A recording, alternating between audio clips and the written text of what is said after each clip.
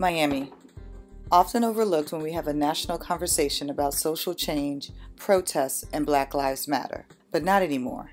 Dahmiec is an independent organizer who's been joined by many in the streets of Dade County. What we did today was powerful, and we're going to continue to do it, and we're going to continue to support the national uprisings that are happening all across the country. All power to all of the people, black power. Hello there, Dahmiec. How are you? I'm doing well and yourself. I'm good. I'm good. I'm so good to talk to you. I've been following you following you on Instagram. You are making so much movement in Miami, which is my hometown, and I thank you, thank you, thank, thank you for uh, um, holding down my city. Like I feel like I would have been right there on the right hand side of you if I was home right now. Hey man, I'm I'm taking care of not only Dade County, but I'm really it's really important to me that I'm showing solidarity with the entire Black community in America right now. Yeah. so you, I, am doing it for Brooklyn the same way I'm doing it for Dade County. I'm doing it for King County. I'm doing no it for no doubt. Cumberland County. I'm doing it for all, all the counties of my lives that that influenced me and had a had a impact on my revolutionary work and ideals. So, um, to formally introduce you, like I said, I came across you on Instagram. Um, my first introduction to you was the whole CVS looting video that went viral. That was my first introduction to you. Then I was just like, who is this? You know, then I took an interest in in who you were. Um, so that's why I wanted to talk to you. But you are an independent organizing. Organizing is your thing. Why is organizing so so important to you? Well, organizing is important to me because the black community having sovereignty and having autonomy is important to me. And before we can have sovereignty and autonomy, we have to be organized amongst ourselves. Mm-hmm. And one of the things that I learned was that before you can get to autonomy and sovereignty, you got to get to organizing. And before you can get to organizing, you just got to gather the people. You got to gather the people before you can organize them. And once you organize them, you can start to demand autonomy and sovereignty. So right. that's what got me into it. Where'd you get those teachings from? I'm curious because that's something um, that you that's something that you learn. Yeah, it's it's a lot of trial by fire. I do a lot of ind- a lot of independent research. Mm-hmm. Uh, I don't come from a radical family or anything of that nature. You feel mm-hmm. me? I've slowly been radicalized just through. I feel like the just my era. I was I'm a I'm a '90s kid. I, I feel like I got the internet at the perfect juncture in my life. I wasn't born with the internet. You feel me? At my fingertips, right. but I got it at about tween preteen era, where right. during my development years. So I feel like that played a part of my radicalization a lot. But my teachings really come from just the old teachers like John Henrik Clarke and yeah. Marcus Garvey and Patrice Lumumba. yeah. These these, these Pan Africanist leaders that was that was out here really speaking like rhetoric towards people and like, yo, we, we, we can have our sovereignty, we can have our autonomy, but we gotta fight for it. And it's necessary evils that we have to partake in to achieve these things. Do you feel me? Like, cause yeah. we're all, because we are at war, we are a people under siege. So. Yeah. Tell, tell, so you're from Miami? You born and raised in Miami? Uh, no, I'm not. I'm actually uh, I've been in Miami for about six years. Wow. I live in Overtown. Uh, I'm a nomadic kid. I'm an army brat. I was originally born in Brooklyn, New York. My mother. Hey, I'm in Brooklyn, BK, BK, hey, babe. Hey, you feel me? Yeah. You know they always gonna claim me. You feel me? I gotta claim them because they. You gonna, gotta claim. It's gonna right. be somebody in Brooklyn like what? You I love it. Born in St. John, son. Oh, Fantastic. yeah, I'm a, I've been I've been raised all around the country.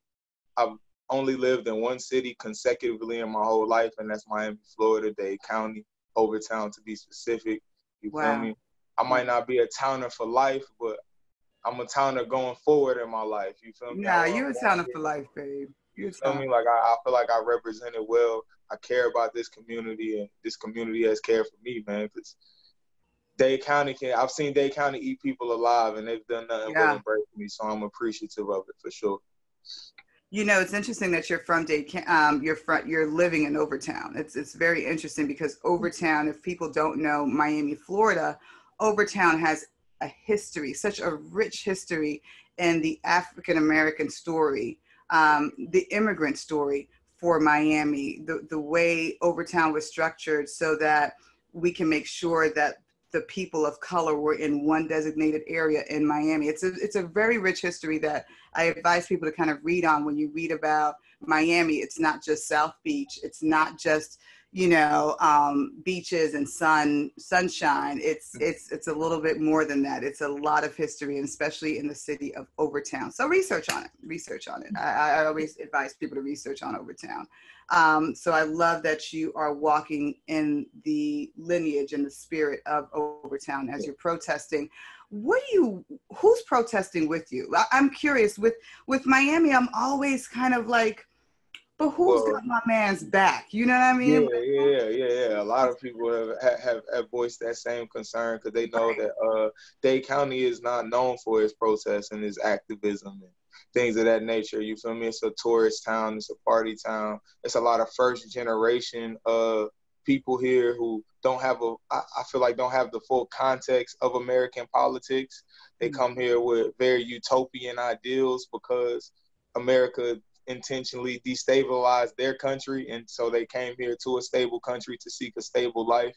So they don't have the full context of American imperialism and, and things of that nature. So they're just not politicized people. You feel me? Right. In Dade County, but it's slowly getting there through my generation. You feel me? It's a lot of young people that, that that's out there with me. But but like I said, uh, like I've said before, it's a lot of families out there marching with me. A lot of people, like a lot of white Latinos, a lot of white people that are just wow curious and just want to be out there and show solidarity. They don't fully understand why they're necessarily out there, but they understand that it's something unjust and they want to be on the right side of history and they just kind of just showing up and putting their bodies out there and listening to people such as myself, like try to give them the context and the political context to what's happening around the country right now with this civil unrest and these national and this whole national uprising.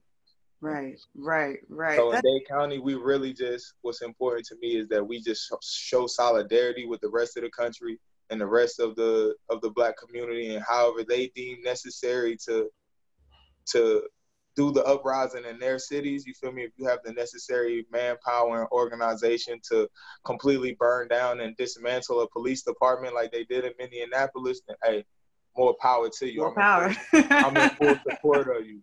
You feel me? But here in yeah. Dade County, we got to move accordingly and we got to read the room and see who's actually out there. So Dade County is just here to show support is to politicize and try to radicalize the people here in Dade County so they have a full understanding of American uh, imperialism and just spreading the resources of the of the National Guard and the law enforcement as thin as possible. So they have to send six point two million dollars down to Miami because we're flooding the streets, and they can't spend that money to stamp out the rebellion in Minneapolis, and they can't use those resources to try to snuff out Atlanta because they have to because Dade County is taking the streets too at the tip of the country.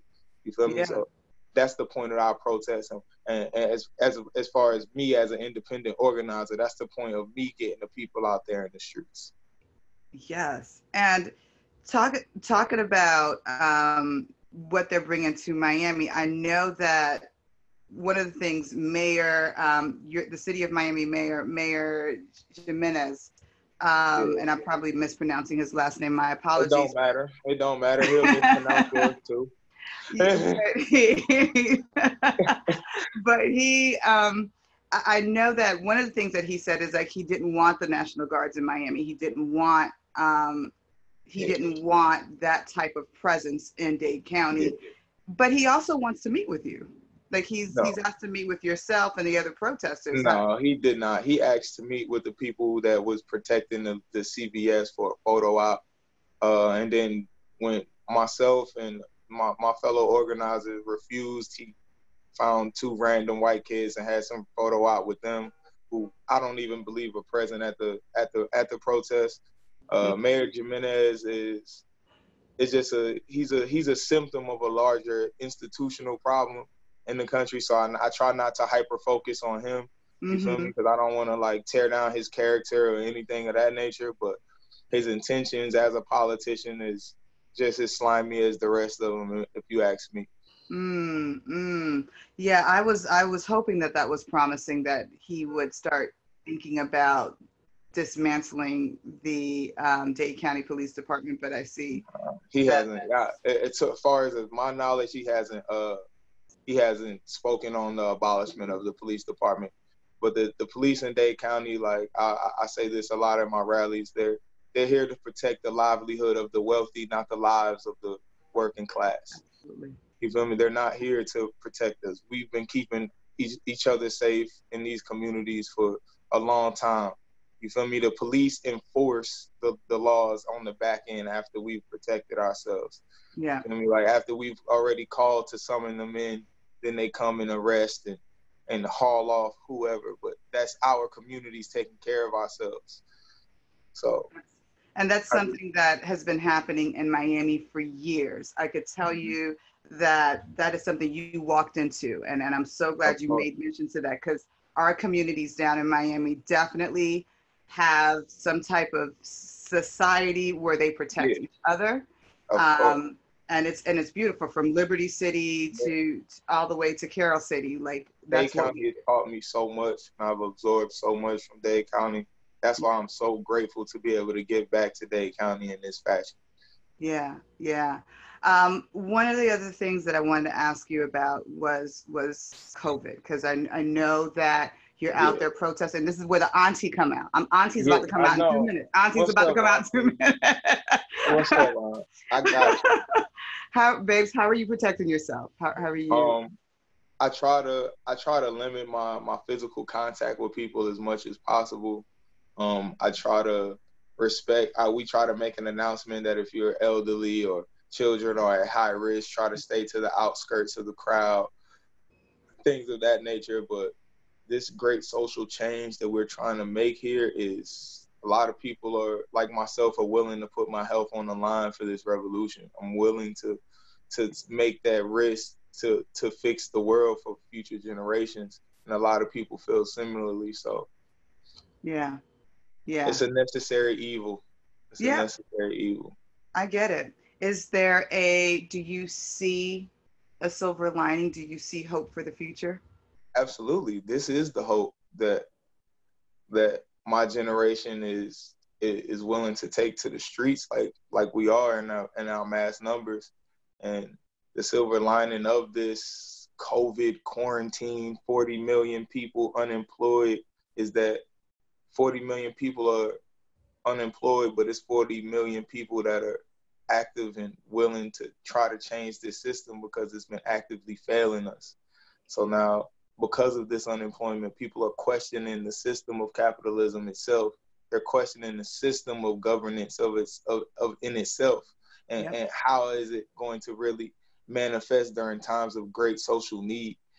And it's it hasn't worked out. So people are taking to the streets and we're looking around and we're like, yo, are you upset? Why are you upset? Why are you upset?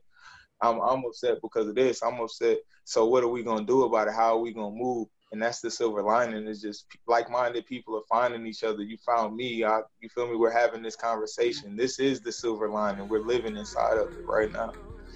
Beautiful. Beautiful.